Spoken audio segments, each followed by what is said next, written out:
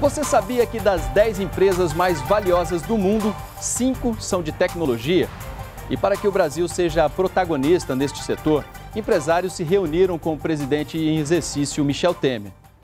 Eles apresentaram propostas para desenvolver essa área. A ideia é que juntos, governo e iniciativa privada trabalhem para que a inovação ajude no crescimento econômico do país.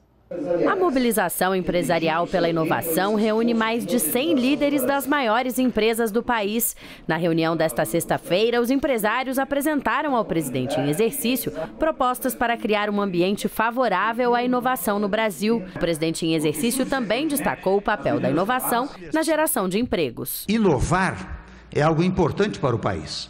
Na economia, no emprego, na tecnologia, na educação, na saúde inovar é uma coisa fundamental. Michel Temer disse que a inovação tecnológica está ligada à educação de qualidade e lembrou o programa Ciências Sem Fronteiras, que permite que os estudantes brasileiros tenham acesso ao conhecimento tecnológico em outros países. Tenho observado uma certa falha nesse programa, porque muitos e muitos vão ao exterior e quando voltam, tendo em vista, convenhamos, uma situação dramática que vivemos no país, com mais de 11 milhões de de desempregados, eles voltam para cá e não conseguem é, emprego.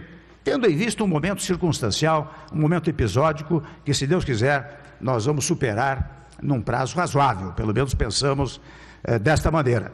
Mas, evidentemente, nas suas empresas e empresas outras que forem conectadas com os senhores, se puderem dar preferência, muitas vezes, àqueles que se formaram no exterior, porque estes, queiramos ou não, talvez venham bem formados com informações tecnológicas que é, auriram, que auferiram é, no exterior. Então, é, com isso, nós, nós fazemos uma interação entre aqueles que vão estudar fora, trazem conhecimentos que podem ser aplicados no Brasil, ao invés de permanecerem no exterior e lá aplicarem os seus os seus conhecimentos. O presidente da Confederação Nacional da Indústria disse que espera um resultado positivo do encontro para ações de incentivo à inovação. Essas questões que foram apresentadas ao presidente, o presidente teve uma atenção muito especial com todas as questões que nós apresentamos.